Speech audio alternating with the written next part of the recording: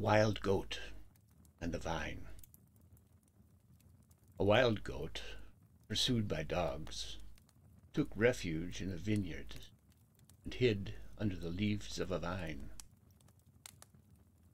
The dogs rushed by, and she escaped from her pursuers.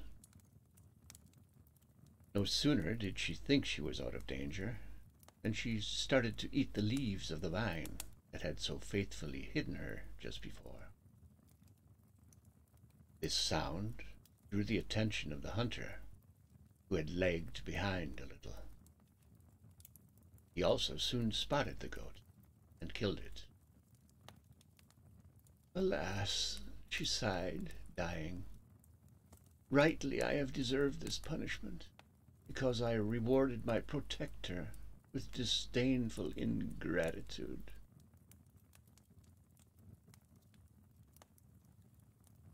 It is the greatest injustice to repay good deeds with evil.